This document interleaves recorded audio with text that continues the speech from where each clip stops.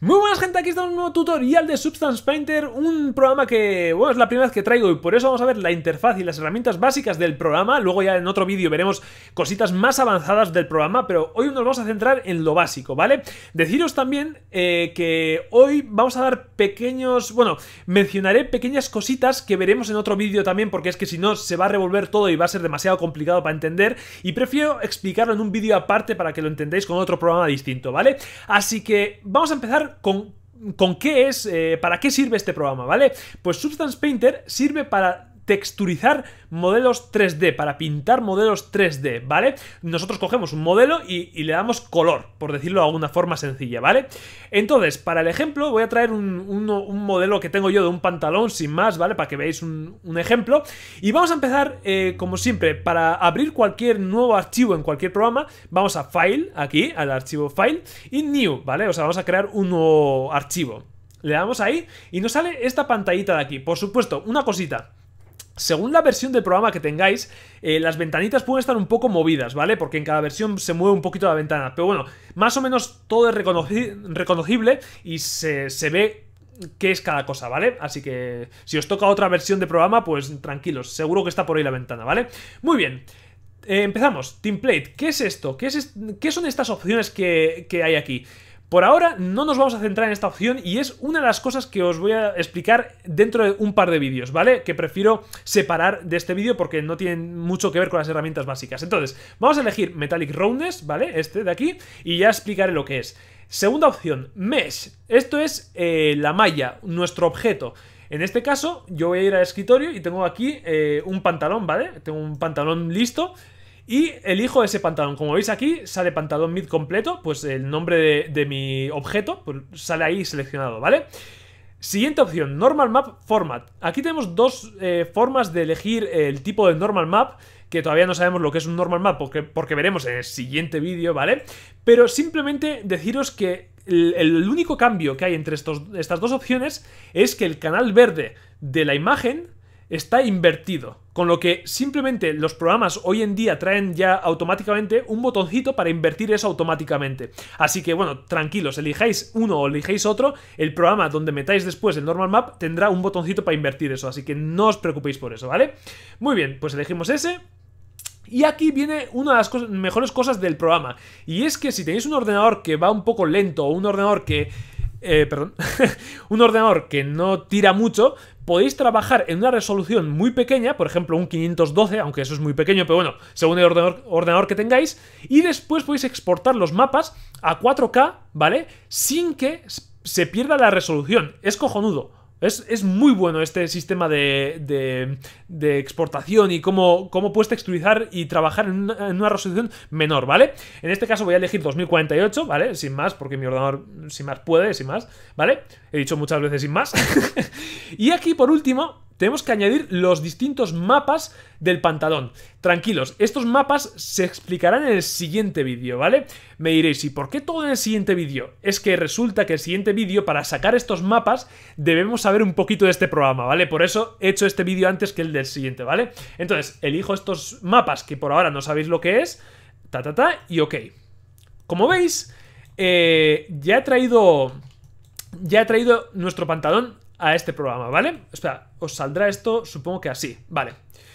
Bien, ¿qué hay, ¿qué hay que hacer con este programa para empezar a pintar? ¿Cómo, qué, qué, quieren decir las herramientas de este programa, vale? Como este vídeo está grabado, simplemente podéis ir dándole pause y probando vosotros tranquilamente en vuestro ordenador, que es lo que os recomiendo, ¿vale? Porque hay muchas herramientas y seguramente si veis el vídeo completo y os ponéis vosotros a trabajar, se os, van a olvidar la mitad de las cosas, ¿vale? Ir poniendo en pausa e ir probando vosotros las herramientas, ¿vale? Entonces, tenemos aquí un visor 3D y aquí un visor 2D de nuestro modelo. Recordar que por lo que hemos visto tanto en tutoriales anteriores como en el curso básico de personajes para videojuego, esto de aquí son las Vs de nuestro objeto cómo hayamos abierto nuestro objeto, ¿vale? Esto justo dimos en el capítulo anterior. Así que cuando nosotros hayamos abierto las UVs, aquí tenemos tanto nuestro modelo 3D como el de las UVs, ¿vale? Y podemos pintar encima de esto o encima de esto. Eso es lo bueno de este programa, ¿vale? Bien, una vez que sabemos esto, vamos a ver los controles básicos para movernos por el entorno. Con Alt y clic central del ratón, movemos nuestro objeto como si movemos nuestro objeto 2D, ¿vale? Los dos se mueven igual, ¿vale? Con Alt y clic izquierdo rotamos nuestro objeto. Veis que rotamos, ¿no? En este caso, como no se puede rotar porque no es un objeto 3D, lo que hacemos es rotarlo solamente en este eje, ¿vale? Es como si fuera un papel, ¿vale? Y por último, con Alt y clic, clic derecho, hacemos zoom, ¿vale? Aunque también con la ruedita también hace igualmente zoom. Y en el 2D, pues lo mismo, ¿vale? Esos son los controles básicos. Ah, y uno más, que se me olvidaba. Con Shift y clic derecho, movemos la luz. Para que veamos cómo afecta la luz en otros. Eh, por, otros. Eh, en otras direcciones, ¿vale? Muy bien, ya sabemos lo básico del programa: movernos en el visor 3D y en el visor 2D. Ahora vamos a empezar ya lo que es con todas las cosas que hay alrededor aquí, ¿vale? Muy bien, para empezar, vamos a empezar por esta pestañita de aquí, que pone Texture Set Settings. ¿Qué son estos eh, ¿Qué es esta pestañita de aquí? Esto es la configuración del proyecto, ¿vale? La configuración del proyecto nos... nos eh, bueno, hay, hay, varias cositas aquí para configurar, como por ejemplo, el tamaño de la resolución de, nuestro, de las texturas que estamos viendo ahora mismo. Si nuestro ordenador está petando, podemos bajar un poquito o si va sobrado nuestro ordenador podemos subir aquí en tiempo real. O sea, de repente igual va lento y pues decís, pues venga, pues bajo un poquito y ya está, ¿vale? Luego aquí tenemos channels. Aquí tenemos varios canales. Base Color, Hate, Roughness, Metallic, Normal. Incluso si le damos al más, podemos añadir un montón de canales más. Y esto lo explicaré dentro de dos vídeos, ¿vale? Así que tranquilos. Cada, cada canal tiene un, un, significado. Y no os preocupéis porque vamos a explicar todos los significados, ¿vale? Luego aquí abajo tenemos eh, eh, esto, el selector de mapas. Aquí cuando... Bueno, esto vamos a ver en el siguiente vídeo también. O sea, tranquilos, estos dos conceptos que diré que vamos a ver en el siguiente vídeo es porque es que es, son muy distintos a, la herramienta, a las herramientas del programa, ¿vale? Cuando bequeemos nuestros mapas, conseguiremos que nuestro modelo low poly, como estáis viendo aquí, se parezca al high poly, o sea, al de alto poligonaje. Entonces, yo como ejemplo, para que veáis ahora, voy a seleccionar, por ejemplo, el normal map, que el normal map trabaja, lo que hace es llevar el detalle del high poly al low poly, ¿vale? Yo selecciono y fijaros en el visor cómo cambia, ¿vale? ¿Os fijáis cómo ha cogido de repente detalle el modelo? Y, y tiene los mismos polígonos, ¿eh? O sea, es el mismo modelo, simplemente, simplemente que si le quito el mapa, ¿Veis? Ahora es low poly. Si vemos la topología, fijaros, ¿vale? Es un low poly, no, no, no, no puede tener detalles. En cambio, si le metemos el normal map, como veis, la topología sigue siendo la misma, pero ahora tiene detalles, ¿vale? Muy bien. Ya que sabemos ahora eh, lo que es el normal map y, dónde se mete, pues, eh, pues listo. Esto es la configuración del programa. Luego aquí tenemos otra pestaña que es para controlar el ángulo de, eh, la perspectiva de la cámara y todas estas cosas, la apertura y todas estas cosas, pero bueno, por ahora no vamos a tocar eso. Y esto es eh, postproducción, que tampoco vamos a tocar ahora mismo. Esto es como cuando sacas una fotografía y haces retoques y tal, pues eso, esto es la postproducción, ¿vale? Y por último, eh, aquí tenemos Viewer Settings, que son también, pues si queremos poner sombras, por ejemplo, para que se vea un poco mejor, un poco más chulo. Pero claro, esto también consume más, ¿vale? Si queremos poner sombras, la opacidad del, del environment, si queremos quitar el, environment. Pero bueno, estos son simplemente la, exposición. Si le damos más exposición, pues no es brilla más, sino que veis como le damos como más luz, ¿vale? Pero vamos a dejarlo en cero como estaba. Y bueno, hay unos parámetros ahí que podemos cambiar para configurar lo que es el proyecto, ¿vale? Pero por ahora no nos importa, incluso yo apenas cambio eso, así que sin más. Eh, bien, ya que hemos visto este, esta parte del programa, vamos a ir a la segunda, que son layers, capas. Para quien no sepa lo que son las capas y no haya nunca tocado un programa como Photoshop o Clip Studio Paint o cualquiera de estos o After Effects o cualquiera de estos eh, programas trabajan por capas. Las capas son simplemente como si fueran folios, ¿vale? Imaginaos, vosotros creáis en un folio una raya, ¿vale? En un folio que está abajo. Y si creáis otro folio y otra raya, por supuesto, el folio que está arriba se superpondrá al que está abajo, ¿vale? Vamos a hacer el ejemplo para que veáis. Voy a crear una nueva capa. Le doy a este botoncito para crear una nueva capa, ¿vale? Si os ponéis encima, pone Add a Layer, eh, añadir una capa. Vale, y aquí lo que voy a hacer es pintar de rojo, por ejemplo, una raya. Como veis, puedo pintar tanto aquí como aquí.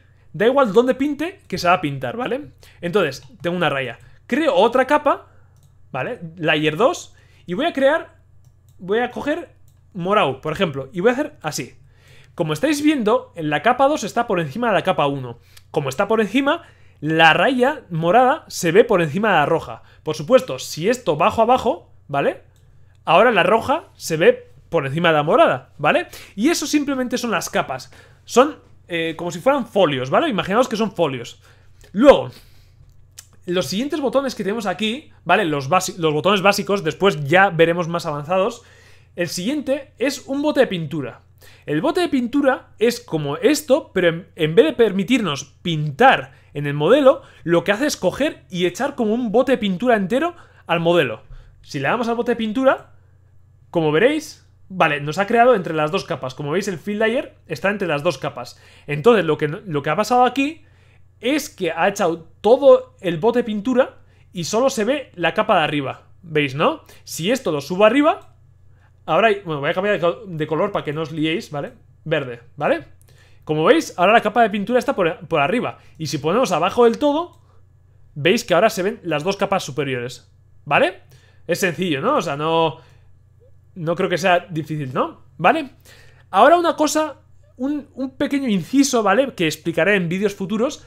Cada capa, cada capa de estas, tiene cuatro propiedades distintas, mínimos, bueno, mínimo no. Pero bueno, son cuatro propiedades distintas. En el siguiente vídeo ya veremos qué propiedades son, ¿vale? Pero si, si clicamos aquí, arriba, veréis que tenemos distintos... Distintas propiedades de la misma capa. Ahora, por ejemplo, si yo cojo esta propiedad, que no sabéis por ahora para qué es, pero ya explicaré, ¿vale? Y le bajo la opacidad, aquí como pone 100, podemos bajar la opacidad, ¿vale? Espera un momentito. Joder, claro. Es que las capas de arriba están... Un momentito. dejarme hacer una cosita, ¿vale? Antes de nada, para que veáis el ejemplo. Un momentito, ¿eh? Vale. Ahora mismo tenemos una capa gris abajo y una capa verde arriba. Fijaros que si bajo la opacidad de, este, de esta propiedad, os fijáis que el brillo del pantalón se ha ido. ¿Veis cómo se va el, brillo del pantalón? Pues esa es una de las propiedades. Como estáis viendo, el color no se va. Porque no estoy tocando la propiedad del color, sino que estoy tocando la, propiedad del brillo, ¿vale?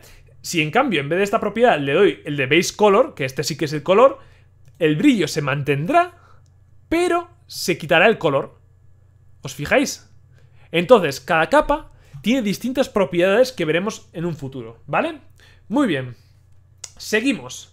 Eh, vamos a crear una nueva capa. No, vamos a organizar esto. Mira, aquí hay otro botoncito que es una carpeta. Pues simplemente la carpeta, si ponemos aquí pantalón, podemos meter todas estas capas dentro de la carpeta y ocultarlas con este botoncito, ¿vale?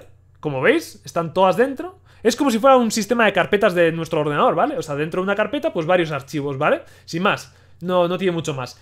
Y después tenemos aquí un, botoncito que es una papelera, que si le damos, pues borramos una capa. No, no, tiene mucho más, ¿vale?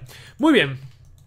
Entonces, hemos visto la capa normal para pintar, la capa de bote pintura, la carpeta y el, el de borrar, ¿vale? Muy bien.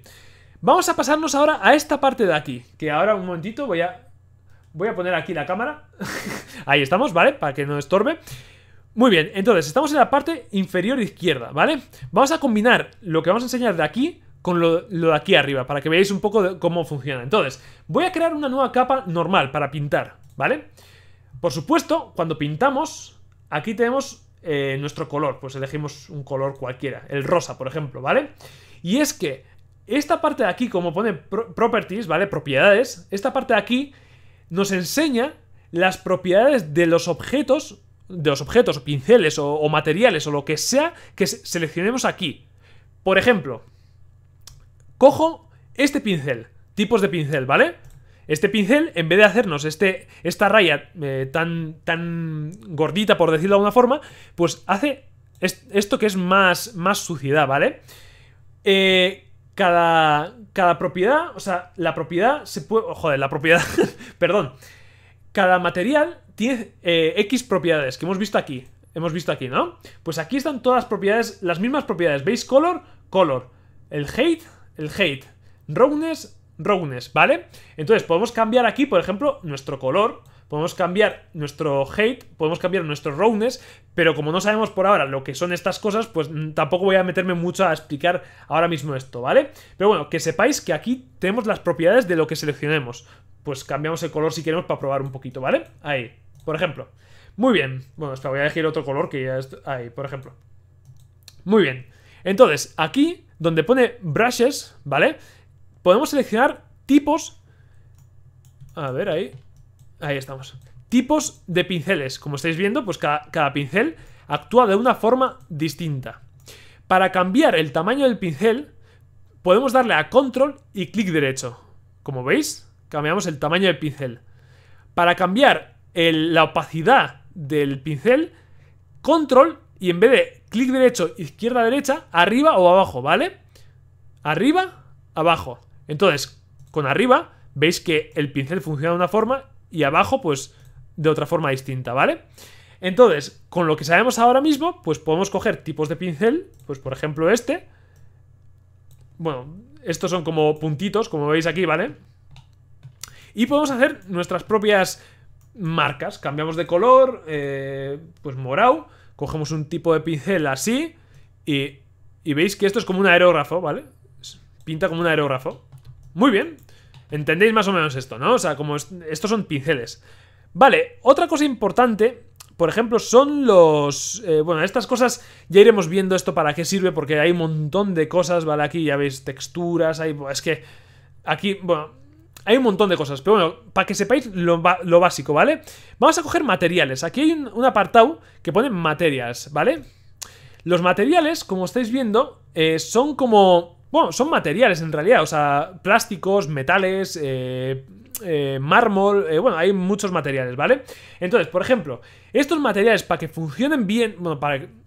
No me entendéis, es que no quiero explicarlo complicado porque todavía no sabéis, pero para que se apliquen correctamente, tenemos que aplicarlo con un fill layer, con este botoncito de aquí, ¿vale? Entonces, le damos un, un clic al botón, se nos ha puesto todo gris, ¿vale? Pero si ahora clicamos en un material, por ejemplo, en la madera, como veis, se ha convertido nuestro pantalón de madera. Porque ahora esto ha cogido la propiedad de este material. Si queremos, por ejemplo, el plástico, pues le damos, clicamos aquí. Y si queremos, eh, yo que sé, pues otro, pues vamos seleccionando por aquí, ¿vale? Ya veis aquí. Eh, Cooper, eh, tenemos un montón. Esto es, como veis, leather, cuero, ¿vale? Hay un montón de materiales, así que podéis elegir cualquiera. Y por ejemplo, si cogemos madera, podemos cambiar sus propiedades, ¿vale? Seleccionamos aquí la madera y cambiamos sus propiedades. Por ejemplo, una madera más oscura. ¿Y veis cómo ahora la madera es más oscura? ¿Vale? Entonces, podemos seleccionar nuestro, nuestro material y cambiar las propiedades en la parte derecha, ¿vale? Y luego hay, bueno, luego hay Smart Materials. Eh, los Smart Materials son materiales, pero un poco más trabajados, ¿vale? O sea, no son materiales tan simples, sino que... Eh, sí, están un poco más trabajados. Para que esto se aplique, simplemente tenemos que arrastrar esto aquí. Si arrastramos, como veis ahora, se aplica directamente ese material a nuestro, a nuestro modelo, ¿vale? Si quitamos el ojito de aquí, ya no se ve, ¿ok? Voy a borrar esto un momentito, voy a borrar esto un momentito y perfecto, seguimos con nuestro pantalón, ¿vale? Y ya por último, ya por último, por, último por hoy, eh, vamos a ver un momentito. Mm. Vale, es que tampoco quiero meterme con esto ahora porque yo creo que ya bastantes cosas tenéis ya con esto. Sí, voy a explicar lo último y ya lo dejamos aquí porque para que os aclaréis, ¿vale? Muy bien, vamos a explicar esta paleta de aquí arriba. Aquí tenemos los típicos pinceles de, de borrar, eh, pinceles de proyección, pinceles de eh, suavizar, bueno, por ejemplo, el primer pincel, si nos ponemos encima, pone paint, que es pintar, ¿vale? Simplemente con el de pintar es lo que estamos haciendo ahora, pintar, ¿vale? Si cogemos el segundo, se llama borrar, evidentemente, porque borra, ¿vale? Si pasamos por aquí, pues borra. El tercero es un poco más especial y prefiero ahora mismo no... Mm, no explicarlo, pero bueno, voy a decir simplemente para qué sirve, ¿vale? El tercero es para proyectar una imagen sobre nuestro modelo. Por ejemplo, si cogemos, eh, a ver si hay algo de color por aquí, simplemente por, ver a ver si hay color, color, color. Bueno, no hay color, pero proyectamos uno en blanco y negro, ¿vale? Sin más. Por ejemplo, esta imagen de aquí. Si queremos proyectar esta imagen de aquí en nuestro pantalón, arrastramos a nuestro base color, que es el color, ¿vale? Y podemos pintar la cara aquí. ¿Vale? Ya veremos esto en profundidad cómo, cómo se hace, ¿eh? ¿vale? Pero si queremos pintarlo, pues mira, ahí tenemos nuestra carita encima del pantalón, ¿vale? Y si traemos una imagen de cualquier cosa de internet o lo que sea, pues podemos pegar a nuestro modelo. Entonces, para eso sirve la tercera. La cuarta sirve para seleccionar partes de un modelo. Pero esto veremos más adelante, ¿vale? Voy a hacer un pequeño adelanto para que, para que veáis. Cada capa puede tener una máscara. Una máscara es lo que determina lo que se va a ver y lo que no se va a ver. Por ejemplo, como veis, ahora mismo el pantalón de base es todo verde. Pero imaginaros que quiero... Perdón. Imaginaos que quiero que estas cositas de aquí sean de color, rojo, ¿vale? Pues simplemente debajo de la capa verde voy a crear... Uy, perdón, una carpeta no. Otra capa que, sea roja, así. Pero por ahora no se ve nada porque la, la capa verde todavía sigue visible. Pero si creamos una máscara con clic derecho, add white mask, ¿vale? Si creamos una máscara y con la cuarta herramienta podemos pintar de negro partes del modelo que queramos para que se vea en rojo. Esto veremos más adelante, ¿eh? esto es simplemente como un adelanto para que veáis cómo funcionan estas herramientas, ¿vale? Pero como veis, ahora sin, necesidad de pintar, tenemos una, eh, una, pintura perfecta, no nos hemos salido ni nada, ¿vale? O sea, es... Para eso es perfecto, ¿vale? Y por último, esta herramienta vamos a dejarla por ahora, ¿vale? Por último tenemos el Smooth, o no sé cómo se llama, sí, Smooth, o no sé cómo se dice en inglés, ¿vale? Entonces, esto simplemente sirve para emborronar. Si pasamos por encima del, modelo... Ay, perdón, estoy abajo. Ahí estamos. Si pasamos encima del modelo... Espera un momento, ¿qué está pasando aquí? Espera un momentito. Ah, vale, que seleccionado otra vez esto, vale. Como veis, lo que hago es como pasar el dedo por encima, ¿vale? Es como emborronarlo. Es, si queremos algún efecto en concreto que tenga así, pues se puede hacer alguna cosilla. Fijaros que, bueno, se puede revolver pintura y, bueno, se puede hacer cosillas ahí interesantes, ¿vale? Pero bueno, esto es un poquito lo básico del programa. Eh, hemos visto un poco los pinceles, las capas, eh, la configuración del proyecto, para qué sirven eh, las, más las herramientas más importantes de aquí arriba. Y por supuesto, este botoncito de aquí, esto os, os voy a decir porque es importante, es simetría. Si clicamos, todo que hagamos en un lado se hará en el otro lado, fijaros. ¿Veis? se hace en el otro lado, ¿vale? Simétricamente. Entonces, bueno, con esto hemos visto un poquito la base del programa, aunque sea ahora, mm, más o menos os ubicaréis dentro del programa, y a partir de ahora, en los siguientes tutoriales, lo que vamos a explicar es un poquito cómo funcionan los materiales, eh, qué son las propiedades de cada material, y también veremos cómo bakear mapas, porque tenemos que continuar con nuestro curso básico de personajes para videojuegos. Así que nada, espero que os haya gustado esta toda la información que os he dado. Espero que os haya servido. Ya sabéis, un voto arriba, pues agradezco muchísimo en, este, en estos tutoriales. Y poquito más, nos vemos a la siguiente. Muchas gracias por estar aquí y adiós.